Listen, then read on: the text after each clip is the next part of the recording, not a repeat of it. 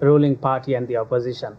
But how can there be any dialogue when most of the opposition political leaders are in prison? And I'm wondering who received letter from the opposition as as government is crackdown, government crackdown opposition is going on, and government workers, you know, been killed at least five. So what is your comment? How can be a dialogue with, in this scenario? So again, I welcome the attempts by various uh, reporters to draw me into internal Bangladeshi political matters, and I'm going to. নাই কারও কথা তো শোনা হচ্ছে না তো আরেকটা জিনিস হলো যে বিএনপির যে স্যাক্রিফাইস মানে প্রধান বিরোধী দল হচ্ছে এটা আনবিলিভেবল এটা অভাবনীয় মানুষ যে বহু চেষ্টা করছে তারা এই দলটাকে ভেঙ্গা ভাঙ্গার জন্য এবং এই মানুষগুলোকে তার কাম্বোডিয়ান স্টাইলে মানে আমার বিরোধী দল থাকবে পত্রিকা থাকবে সবই থাকবে কিন্তু আমার কথা বলবে এরকম একটা স্টাইল তো তারা এরকম কিছু নেতাদেরকে তারা এই যে ডিটেকটিভ ব্রাঞ্চ পুলিশ যে কাণ্ডগুলি করছে, আমি তাদেরকে সতর্ক করছি আবারও যে এই জিনিসটা কিন্তু তারা ভয়াবহ ভাবে তারা খেলাধুলা করার নিউট্রাল থাকুক,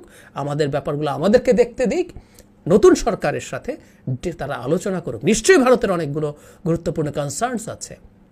সেই আলোচনা করবে, বরং এই দেশটাকে ধ্বংস করে দেওয়ার সাথে, আওয়ামী লীগের সাথে সাথে যত দিন যাচ্ছে, ভারত তো জড়িয়ে গেছে যত দিন যাচ্ছে, এটা খারাপের দিকে যাচ্ছে।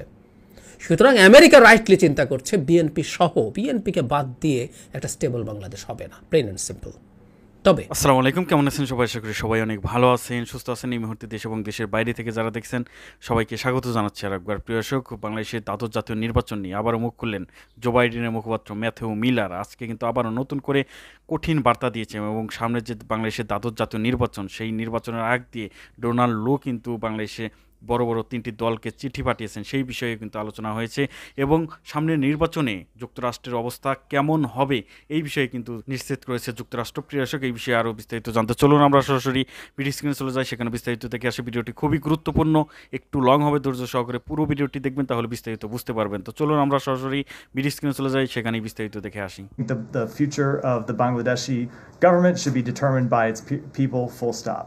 I have one uh, uh, you, uh, you asked three in one there. Going go, go, go ahead. Thank you, Matt. Assistant Secretary Donald Lu has sent a letter with urging for dialogue between the ruling party and the opposition. But how can there be any dialogue when most of the opposition political leaders are in prison? And I'm wondering who received letter from the opposition uh, as as government is crackdown, government crackdown opposition is going on, and government workers, you know, been killed at least five. So what is your comment? How can be a dialogue with in this scenario? So again, I welcome the attempts by various uh, reporters to draw me into internal Bangladeshi political matters, and I'm going to continue to refrain from, from doing so. Uh, the United States does not take a side in Bangladeshi elections. We do not support one political party over the other. We support free and fair elections, period. I have one Go, follow-up. go, no, I'm going to do so. Go ahead, and then we'll wrap it up. Is it true? Thank you. Yeah, I think I just answered it, or declined to answer. Thank you, Matt. Can you give, please give us a sense, if anything, discussed uh, in New Delhi 2 plus 2 meeting on particularly Bangladesh upcoming election? And Indian press and Bangladeshi press uh, described that they had a good meeting on Bangladesh upcoming election. And we saw the Indian uh, statement as well as the Chinese st- statement terming as internal affairs. So can you please give us a sense? I, I'm just not going to talk to I the. dis- I, don't- I, I, I, I, hold hold on. Um, uh, as I said, this would be the last. I'm not going to talk to the specifics of the meeting, other than what we put out in our readout. The secretary said in his statement while we were in India. Thanks, everyone. তো নাই কারও কথা তো শোনা হচ্ছে না তো আরেকটা জিনিস হলো যে বিএনপির যে স্যাক্রিফাইস মানে প্রধান বিরোধী দল হচ্ছে এটা আনবিলিভেবল এটা অভাবনীয় মানুষ যে বহু চেষ্টা করছে তারা এই দলটাকে ভেঙ্গা, ভাঙ্গার জন্য এবং এই মানুষগুলোকে তার কাম্বোডিয়ান স্টাইলে মানে আমার বিরোধী দল থাকবে, পত্রিকা থাকবে, সবই থাকবে, কিন্তু আমার কথা বলবে, এইরকম একটা স্টাইল তো তারা এরকম কিছু নেতাদেরকে তারা এই যে ডিটেকটিভ ব্রাঞ্চ পুলিশ যে কাণ্ডগুলি করছে, আমি তাদেরকে সতর্ক করছি আবারও, যে এই জিনিসটা কিন্তু তারা ভয়াবহ ভাবে তারা খেলাধুলা করার চেষ্টা করছে এবং ভয়াবহ ভাবে দেশকে বিপর্যয়ের দিকে নিয়ে যাচ্ছে, দেশকে, শুধু তাকে নয়, ওই ব্যক্তি নয়, ওই হারুন বা পুলিশ অফিসার নয় তারা পুরো দেশকে তারা একটা বিপর্যয়ের মধ্যে ফেলে দিচ্ছে। তারা তো নিজেরাই এটার জন্য ভোগবে কিন্তু পুরো জাতিকে এটাকে মাসুল দিতে হবে। এই দেশটা তো রে ভাই আমার আপনার সকলের। এটা তো আওয়ামী লীগের না। মানে শুধু আওয়ামী লীগের না এই দেশটা বিএনপির না। এটা দেশটা সাধারণ মানুষের এবং এই প্রবলেমটা শুধু বিএনপির প্রবলেম না আমরা একাধিকভাবে আলোচনা করেছি। এটা সমগ্র দেশের প্রবলেম তো একজন মানুষকে ক্ষমতায় রাখবার জন্য আপনি শেখ হাসিনাকে ক্ষমতায় রাখবার জন্য এত এত স্যাক্রিফাইস কেন? মানে এত, দেশকে কেন বিপর্যয়ের মুখে ফেলে দিতে হবে? কেন নিজেকে বিপর্যয়ের মধ্যে ফেলে দিতে হবে? কোনো তো রিজন নাই। যদি মানুষ চাইতো একটা কথা যে হ্যাঁ মানুষ তাকে ভোট দিয়েছে। এখন বাংলাদেশের প্রধানমন্ত্রী আসনে শেখ হাসিনা থাকা আর সেনাবাহিনীর প্রধান থাকা অথবা এসএসএফ এর ডিজি থাকা অথবা ডিজিএফ এর ডিজি থাকা কোনো পার্থক্য নাই কিন্তু। মানে একই জিনিস। কিন্তু বিষয়টা হলো যেহেতু মানে এটা এইভাবে হয় না এগুলা।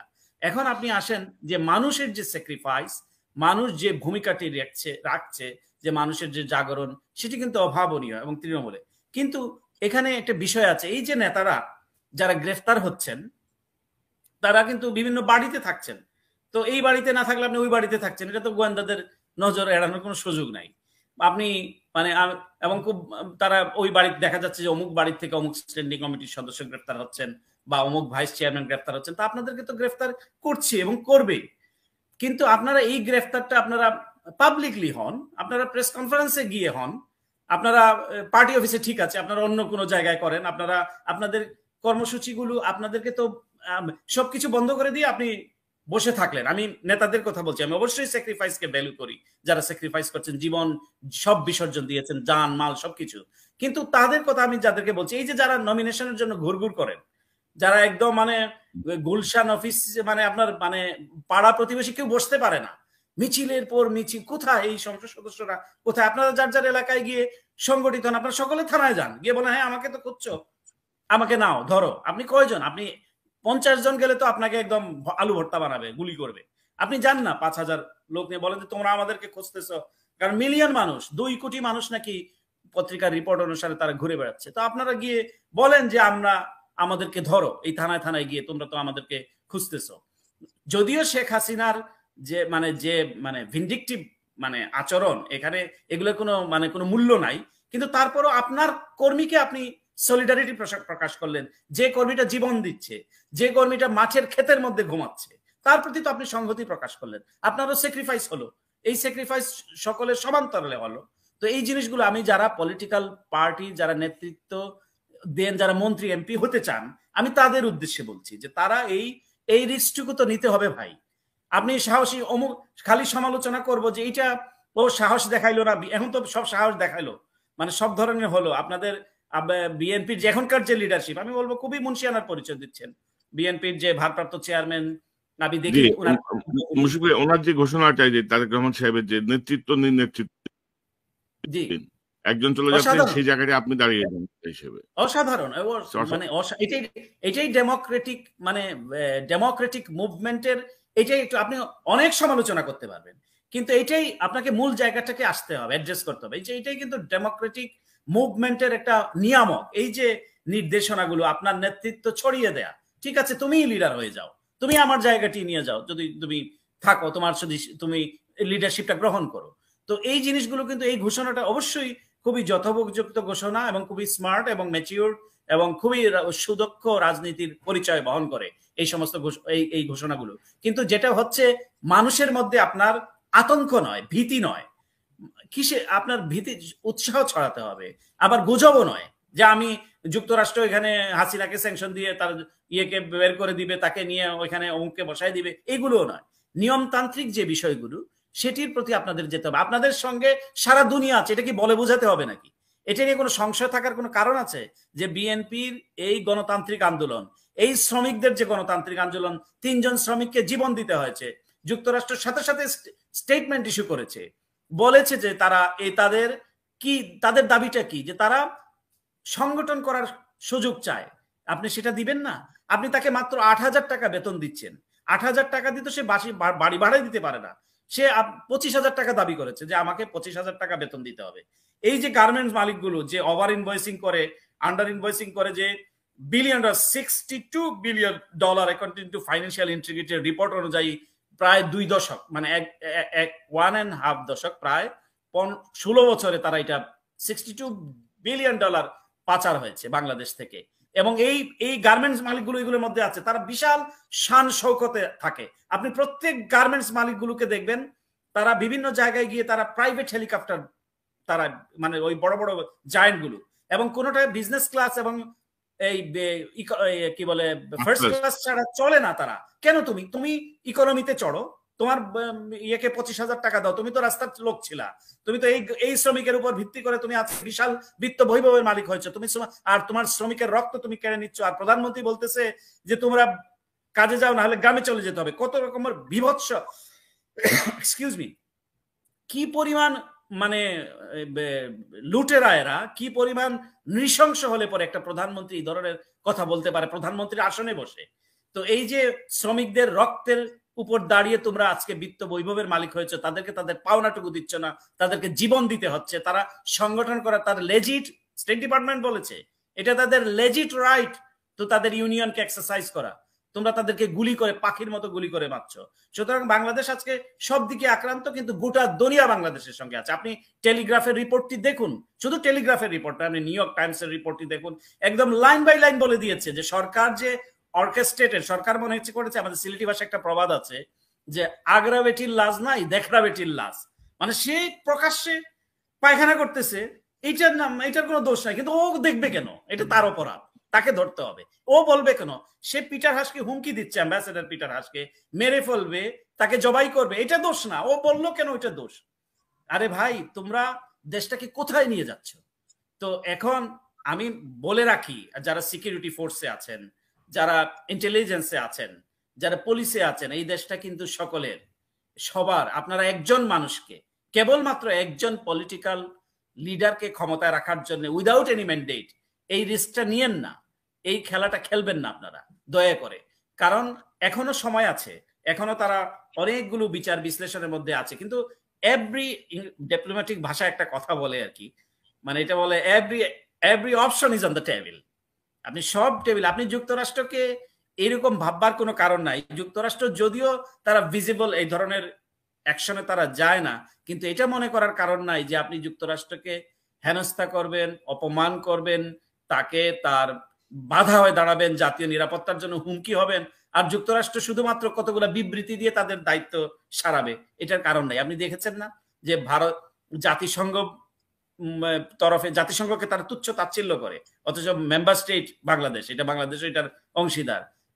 জাতিসংঘের তরফ থেকে বেগম খালেদা জিয়ার মুক্তি দাবি করে চিঠি দেওয়া হয়েছে। এই চিঠি শুধুমাত্র চিঠির মধ্যে আছে। এরপরে দেখবেন আর অনেকগুলো কনসিকুয়েন্স তৈরি হবে। আমি কোনো মানে স্পেসিফিক বলছি না। আমি বলছি না যে পিস কিপিং এবং অন্যান্য বিষয়গুলো এগুলো আপনারা দেখতে পাবেন ভিজিবল হবে। তখন হবে কি, সকলে মিলে কিন্তু গর্তের মধ্যে পড়বেন।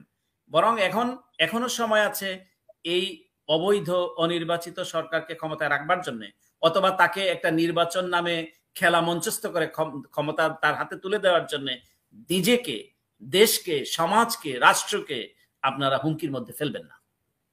একটা চিঠি, একই চিঠি, তিনটা দলকে দেওয়া হয়েছে বলে তুমুল আলোচনা সৃষ্টি করেছে। এর মধ্যে জাতীয় পার্টির সাথে দেখা করে মার্কিন রাষ্ট্রদূত পিটার হাস তাদের চিঠিটা পৌঁছে দিয়েছেন। বিএনপিও চিঠি হাতে পেয়েছে বলে জানা গেল। আওয়ামী লীগ গতকাল রাত পর্যন্ত পাইনি আমি যদ্দূর শেষ খবর দেখলাম। আজ হয়তো তাদের হাতে যাবে। হ্যাঁ আমি জনাব ডোনাল্ড লুর চিঠির কথা বলছি, যেটা বাংলাদেশের তিনটা প্রধান দলকে তিনি লিখেছেন, যেটা জনাব পিটার হাস প্রথম পৌঁছে দিয়েছেন জাতীয় পার্টির হাতে। ডোনাল্ড লুকে নিয়ে আগেও আমরা অনেকবার কথা বলেছি, তাকে আমরা চিনি। তিনি মার্কিন তার সিনিয়রদের সাথে অনেক সময় কোম্পানি করেছেন, নিজে এসেছেন। কথা বলেছেন নিজে আলাদাভাবে, আমরা মনে করতে পারব মিস উজরা জিয়া যখন বাংলাদেশে আসলেন, উনি মার্কিন আন্ডার সেক্রেটারি অফ স্টেট মানে আন্ডার সেক্রেটারি পজিশনটা হচ্ছে, আমরা জানি ওরা সব সেক্রেটারি তো আন্ডার সেক্রেটারি জনাব লুয়ের ওপরে, লু হচ্ছে অ্যাসিস্ট্যান্ট সেক্রেটারি তার নিচের পোস্ট এবং জনাব লু সাউথ এবং সেন্ট্রাল এশিয়া মানে ওই যে কতগুলো সোভিয়েত ইউনিয়নের স্থান আছে তাজাকস্তান, কাজাকস্তান, উজবেকিস্তান, এরা এবং আমাদের দক্ষিণ এশিয়া। এবং আমি আরেকটু মনে করিয়ে দেই, দক্ষিণ এশিয়াতে ভারত ছাড়া সার্কের বাকি দেশগুলোর দায়িত্বে আছেন আফরিন আক্তার তো এই হচ্ছে মোটামুটি স্ট্রাকচার এবং ডোনাল্ড লু খুব আলোচিত হয়েছেন আমাদের দেশে, আমরা চিনি তাকে। উনি বাংলাদেশে একা এসছেন, কথা বলেছেন মিডিয়ার সাথে। আমি মনে করিয়ে দেই, যাদের মনে নেই আমেরিকা যখন প্রথম ভিসা নীতি বাংলাদেশে ঘোষণা করে, তখন ডোনাল্ড লু, চ্যানেল আইয়ের জনাব জিল্লুর রহমানের সাথে কানেক্টেড হয়ে সেটাকে আরও ভালোভাবে বুঝিয়ে দিয়েছিলেন। নিশ্চয়ই মনে পড়ছে আমাদের। আর উনি আসলে অনেক বেশি আলোচিত হয়েছেন আরও আগে। আমাদের মনে থাকার কথা, উনি বিভিন্ন জায়গায় যান, নেপালে গেছেন, শ্রীলঙ্কায় গেছেন, কিন্তু পাকিস্তানে যখন টালমাটাল অবস্থা ইমরান খানের সরকার নিয়ে, তখন ইমরান খান প্রকাশ্যে অভিযোগ করেছিলেন, তাকে তার সরকার পতনের পেছনে মূল দায়ী, জনাব ডোনাল্ড লু। তখন থেকে তার সুখ্যাতি বা কুখ্যাতি যাই বলুন না কেন, বিশেষ করে ক্ষমতাসীনদের কাছে একটা বিরাট পরিস্থিতি তৈরি হলো যে ইনি রেজিম চেঞ্জের সাথে সম্ভাব জড়িত।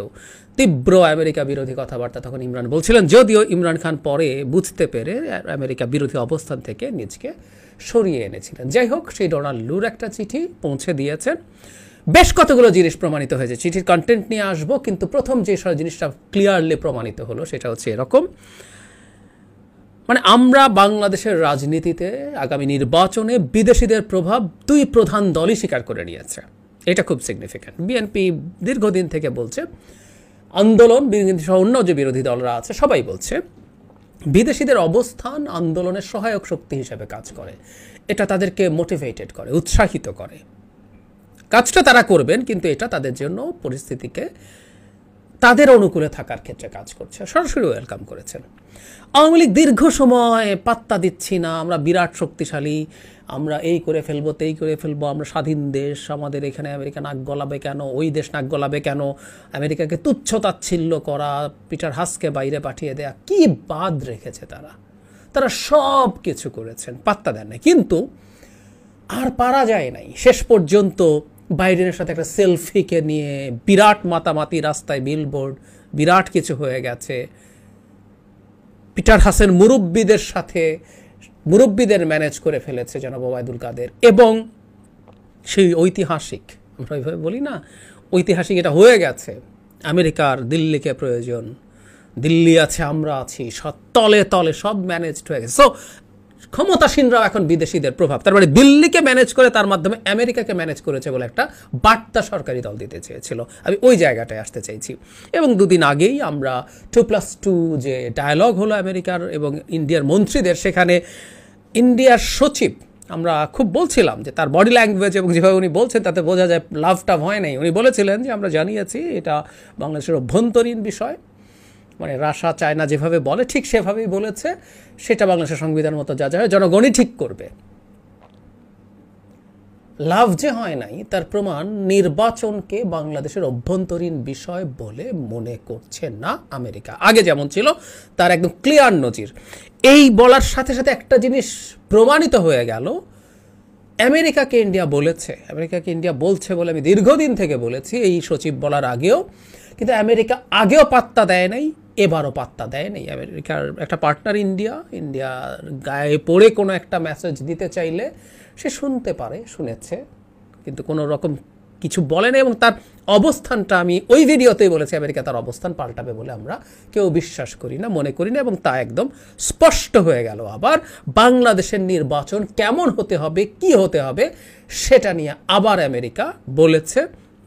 তাদের চিঠিতে কি বলা হয়েছে বা চিঠির কন্টেন্ট কি সেটা নিয়ে আমেরিকার যে দূতাবাস বাংলাদেশে, সেখানে একটা বিবৃতি এসছে, স্টিফেন ইভেলি, মুখপাত্র ইবেলি স্টেটমেন্ট দিয়েছেন। সেখানের মধ্যে বলা হচ্ছে, যুক্তরাষ্ট্র বাংলাদেশের শান্তিপূর্ণ উপায়ে অবাধ ও সুষ্ঠু নির্বাচন চায়।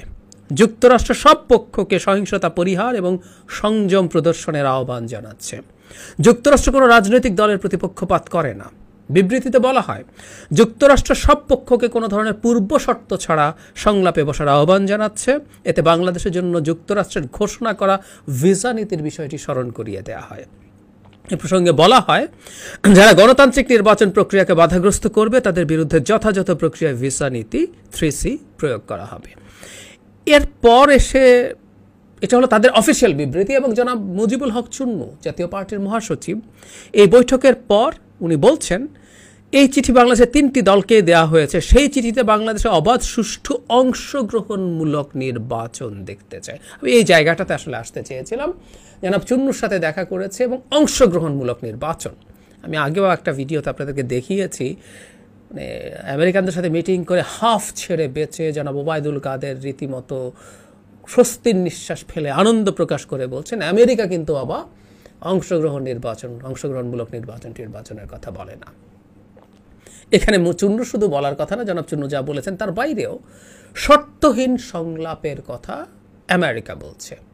জনাব চুন্নুর দীর্ঘ সময় কথা বলেছেন, আমি সেটা নিয়ে আমার কিছু টেক আছে, আমি শেষের দিকে বলব আবার। কিন্তু এখানে কি হচ্ছে? শর্তহীন সংলাপে বসতে সরকার কেউ বলছে? কেন বলছে? খেয়াল করি, সরকার তো মনে করছে একটা দলের নির্বাচনে আসা বা না আসার অধিকার আছে। ওকে তো ঘা মানে কোনো সাংবিধানিক দায়িত্ব সরকারের নাই যে বিরোধী দলকে আনতে হবে ক্ষমতায়। কথা সত্য? একই রকম কথা আওয়ামী লীগের নেতাদের মুখ থেকেই আসছে। নির্বাচন কমিশনের সাথে আওয়ামী লীগের যে প্রতিনিধি দল দেখা করেছেন, আমি যদি ভুল না করি, যেন ফারুক খান বেরিয়ে বলছে, বিএনপিকে নির্বাচনে নিতে হবে এমন কোনো কথা সংবিধানে লেখা নাই? আসলেই লেখা নাই। কিন্তু বলা হচ্ছে শর্ত ছাড়াই বসবা তুমি। আমাদের মনে থাকার কথা। নির্বাচন কমিশনের সাথে বসেছিলেন জনাব পিটার হাস। এরপর সেখানেও তিনি একটা সাংবাদিকদের সাথে অল্প সময় কথা বলেন, সেখানেও আনকন্ডিশনাল ডায়ালগের কথা বলেন। তারপর আমাদের অতি চালাক আইনমন্ত্রী চালাক মানে উনি চালাক, আমরা সব স্টুপিড আমরা বুঝি না। উনি একটা ট্রিক করলেন। ট্রিকটা কীরকম? আগে যেন মোবাইদুল কাদের চারটা শর্ত দিচ্ছিলেন। মানে এখানে প্রধানমন্ত্রী পদে থাকবেন এ নির্বাচন কমিশন থাকবে সংসদ বহাল থাকবে। এরকম তিনটা আরেকটা কি? যেন চারটা শর্ত মানলে বিএনপি সাথে সংলাপে তারা বসতে পারে বলে বলছিলেন। আইনমন্ত্রী চালাকি করে বলছেন আচ্ছা আমরা মানে সংবিধানের অধীনে শর্তহীন, সংবিধানের অধীনে মানে নির্বাচন হবে, এটা মেনে শর্তহীন সংলাপে বসবো। মানে সংবিধানের অধীনে বসা মানে ওই চারটাই একই কথা। মানে প্রায় বলি মানে তারা সবাইকে আসলে যেন তেন করে দশ বছর ক্ষমতায় টিকে গেছে, তো দুই নম্বরই করেও তারা আমাদেরকে স্টুপিড মনে করে, তারা